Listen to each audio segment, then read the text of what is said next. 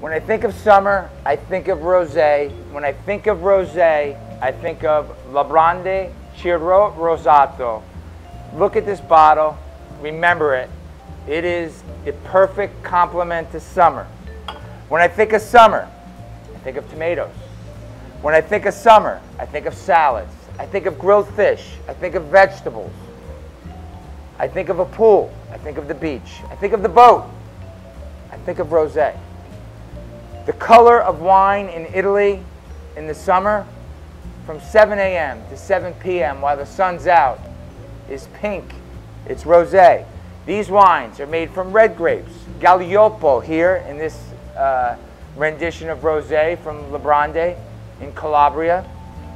And they leave the wine in contact with the skins to get the color.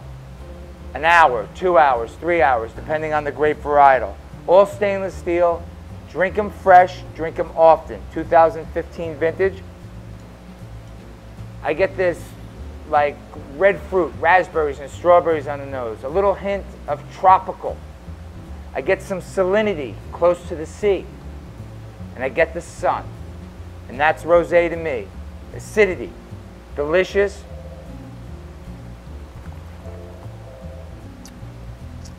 And the perfect complement to summer. Librandi Rosé with salads, summertime. Fish, if you're grilling, grill the fish, a whole fish. A beautiful bottle of rosé or two. Usually less alcohol than their white and red counterparts. So maybe 12 or 13% alcohol. Great acidity, great summertime wine. The sun's out a lot in the summer. We have these long days. Drink rosé all day. Breakfast, lunch, and dinner. And remember, as Vic always says, everything's better with wine, even summer.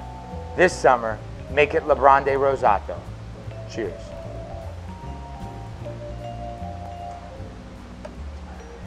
If you want to try the wines that I've talked about today, you can buy them at rallowines.com.